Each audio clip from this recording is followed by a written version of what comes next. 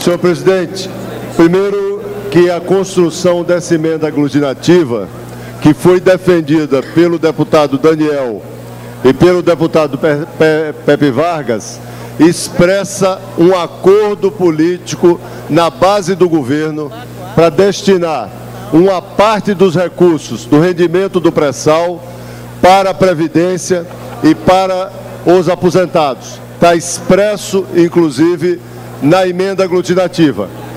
Eu quero pedir aos partidos da base que fizeram orientação contrária ao governo e contrária à emenda aglutinativa para mudarem de posição e orientarem sim.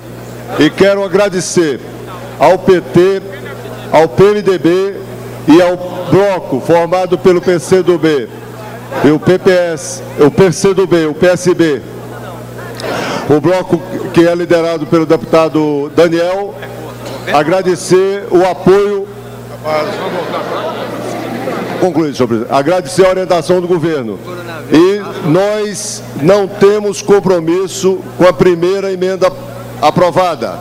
Essa emenda aglutinativa representa um acordo construído na casa que pode ser positiva para os aposentados, para a Previdência e para o projeto do, do fundo, que é um dos projetos do pré-sal. Portanto, a orientação do governo é sim, e eu peço aos deputados da base que votem sim.